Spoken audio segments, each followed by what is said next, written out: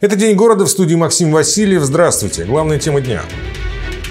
Психология Барса. Минобороны к осени мобилизуют 100 тысяч солдат и офицеров запаса. Не бесплатно. Обратной дороги нет. Временные трудности для жителей улицы Братиславская дорожники обещают исправить в ближайшее время. Не расти трава. Дирекция благоустройства проводит окос по заявлениям граждан.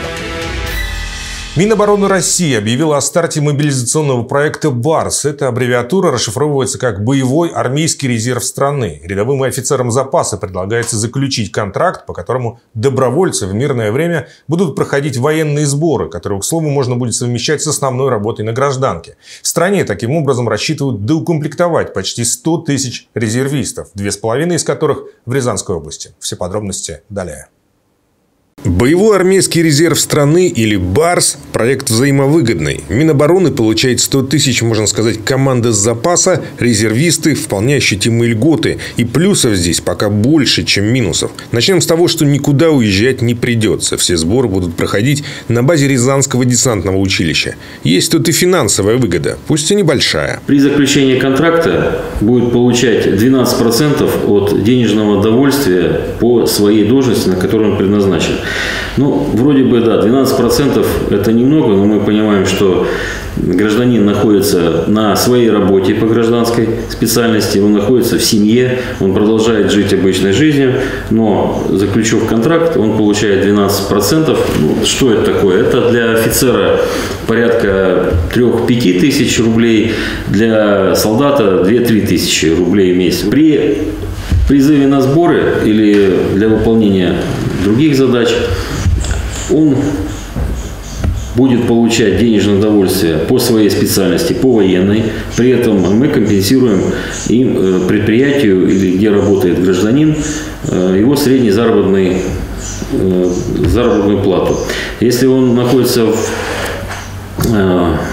безработным, то, соответственно, компенсируется пособие. Но согласитесь, ежемесячно получать 5 тысяч за три дня мобилизации, а раз в год и вовсе целый офицерский оклад – вполне себе неплохая перспектива. Впрочем, деньги здесь второстепенны. После заключения контракта перед резервистами откроются двери всех медицинских учреждений Минобороны. Есть резон стать бойцом Барса и у тех, кто не добрал в свое время стажи для военной пенсии. Все идет в зачет. И это не считая бесплатного питания, обмундирования и страховки. Обращаться необходимо для заключения э, контракта в те районные военкоматы, которые приписан гражданин. Там все порядок действий все знают. Там пишется заявление о согласии поступить на мобилизационный резерв. А контракт уже будет заключаться непосредственно с начальником нашего десантного училища. Там же будут проходить сборы. Первые сборы для резервистов уже в ноябре. Кандидатами могут стать практически все солдаты и офицеры запаса. Возрастной ценз присутствует. Для младшего офицерского состава 42 года, для старшего 57 лет. Наркоманов и людей с уголовным прошлым просьба не беспокоить. Улица Братиславская, где сейчас ведутся работы по замене теплотрассы, перекрыты от Гагарина до Славянского проспекта. Альтернативной дороги нет, поэтому автомобилисты ищут пути через местные дворы. Жители обратились к нам в редакцию с просьбой выяснить, когда же это все-таки закончится. Марина Реманюк все разузнала.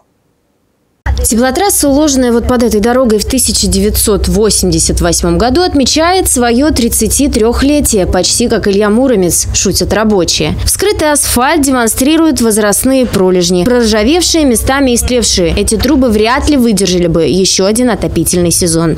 На данном участке происходит э, капитальный ремонт магистральной теплосети диаметром 500 миллиметров, э, протяженностью общей трубы 1200 метров. Стоимость данных работ порядка 51,5 миллионов рублей. Работы начались э, в середине июля. Будут закончены ближе к сентябрю. Точечные работы за 30-летнюю эксплуатацию теплотрассы, конечно, проводились. Но теперь все масштабнее. Полная замена коммуникаций на новое современное оборудование. Понятно, что дело это непростое, требует и времени, и средств. Но, как говорят подрядчики, будет на века. По окончании работ на этом участке Братиславской они обещают и восстановить дорожное полотно, и оборудовать тротуары. К 1 сентября будет, во-первых, открыт проезд для машин к школе. Это однозначно.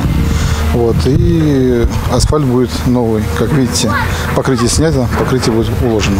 Самое большое недовольство людей, конечно, вызывает отсутствие проезда. Улица перекрыта полностью, альтернативной дороги нет. Приходится, как выражаются водители, прыгать по бордюрам, нарушать, въезжая под кирпич, просачиваться через дворы. В общем, выкручиваться всеми мыслимыми и немыслимыми способами. К сожалению, это пока вынужденная и временная мера.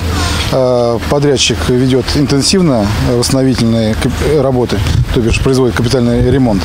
И э, в ближайшее время э, уложатся трубы, закроются лотками, будет сделано асфальтовое покрытие, и из дворов все уйдут. К сожалению, в данном случае иного способа отремонтировать участок теплотрассы на Братиславской нет. Но рабочие здесь буквально день и ночь, чтобы уложиться в срок и избавить местных жителей от проблем с отоплением. А автомобилистов просят немного подождать. Пару-тройку недель максимум. Марина Романюк, Михаил Лазуткин, телекомпания «Город». 14 августа в Рязани из-за проведения ремонтных работ на газопроводе ограничат движение автотранспорта по улице Маяковского, что приведет к изменению некоторых маршрутов. Троллейбус номер 16 теперь будет доезжать до площади Мичурина через Первомайский проспект, улица Соборная, Ленина и Сенина. Автобусы номера 4, 15, 16, 20, 21, 24 маршрутка номер 77 до центрального рынка поедут по улицам Павлова и Кудрявцева. Вот маршрут 70 с ноября исчезнет вовсе. Перевозчик Рязань Пассажир Транс направил заявление о прекращении работы свидетельства, которое вступает в силу как раз с 1 ноября. Маршрут номер 70, напомню, следовал от пункта улицы Березовая до остановки Русская кожа. Поросло травой вместо наших встреч. Эту цитату из советской песни можно смело делать лейтмотивом обращения рязанцев в дирекцию благоустройства. Служба начала окос территорий по заявкам. Где сейчас работают триммеры, расскажем далее. 9 часов утра, а триммеры уже ревут на всю Дашкову песочню. Окашивают пешеходную дорожку, как и просили местные жители. Территорию официально включили в план работ. Прокашивание территории от бассейн Капитан до 71 школы. Вот. Также у нас ведется окос территории в Октябрьском районе по улице Новоселов, по улице Зубковой. В первую очередь, к 1 сентября будет уделяться внимание на школы и детские сады. Социально важные объекты в приоритете, однако не забывают и о других территориях. Помешать может только погода. При этом именно сильно сильный дождь. Сегодняшняя морось косцам препятствием не стала. Еще и техника помогла. В данный момент у нас ежедневно работают 5 тракторов с косилками. Вот. Один трактор работает непосредственно здесь, возле бассейна Капитана, остальные раскиданы по районам. В график масштабной городской стрижки коррективы вносят только обращения жителей города, на которые дирекция благоустройства оперативно реагирует. Поэтому, если у вас под окнами автокосилки еще не работали, самое время оставить заявку. Валерий Седов, Михаил Лазуткин, телекомпания «Город». Рязанские скульпторы и керамисты вернулись из Вологды с межрегиональных мероприятий. Мастера изготовили так называемые огненные скульптуры. Валерий Седов все рассмотрел в подробностях. То, что вы видите на своих экранах, так и называется огненная скульптура. Делают ее из глины сразу над самодельной гончарной печкой. Статуя служит трубой. Печь раскаляют до 1300 градусов и почти сразу же показывают зрителям. Конкретно эту скульптуру сделали рязанские мастера. Как говорят, жизнь огненной скульптуры 15 минут. То есть, когда она вот эта раскаленная, открывается кокон, в котором мы ее заматываем, чтобы она обожглась, и она горит. Она работает как светильник, мы кидаем опилки, в это время сноп искр. Это, ну, это вот такое огненное шоу. По замыслу горящая скульптура – это фигура двух влюбленных, между которыми расцветает древо жизни. Эта работа совсем свежая. Ее рязанцы изготовили в Суздале буквально неделю назад. Чуть раньше, в июне, на Вологодском фестивале тоже было жарко.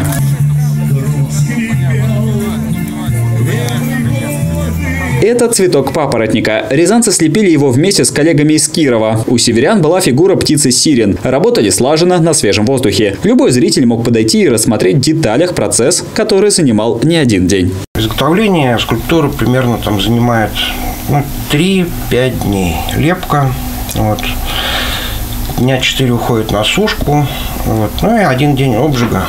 Виктор и Наталья работают в паре. Мужчина преимущественно трудится над формами. Он в гончарном деле больше 20 лет. Раньше, говорит, тянуло к живописи, но попробовал поработать с глиной и ему понравилось. Теперь любовь в живописи вылилась в декорирование форм. Наталья же больше работает над росписью. В купе у рязанцев получается создать незабываемые творения. Это не только огненные скульптуры, которых уже четыре, но и фигуры разных форм.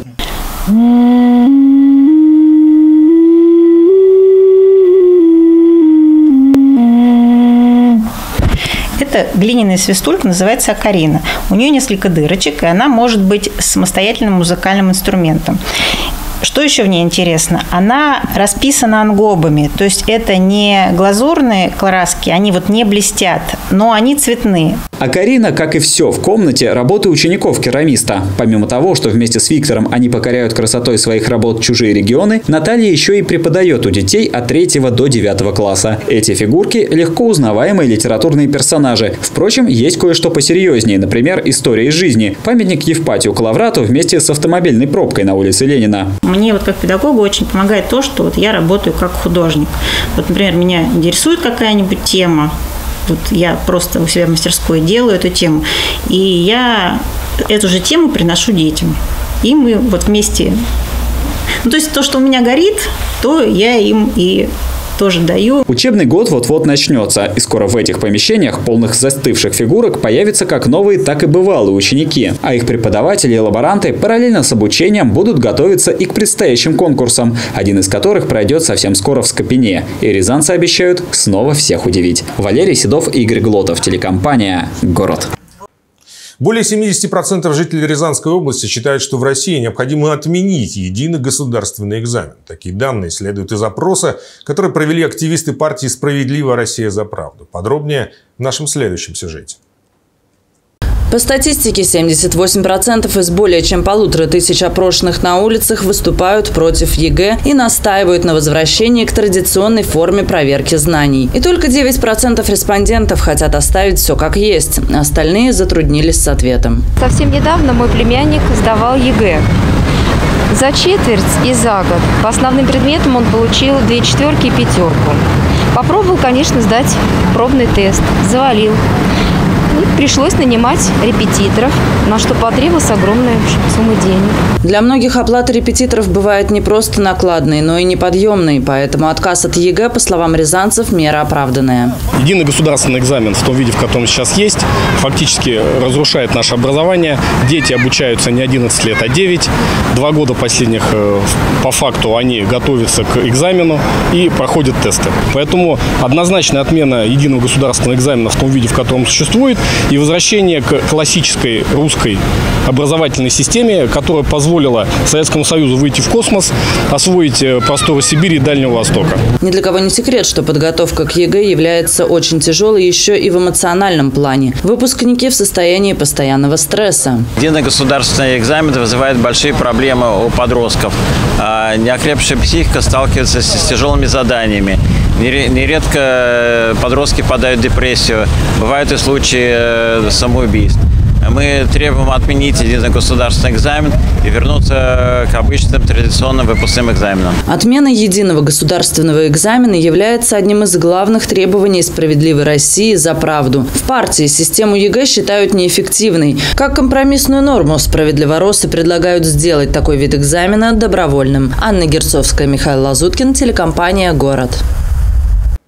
На этом у нас все. Еще больше новостей на нашем сайте www.город62.tv и на наших страничках в соцсетях. Всего доброго.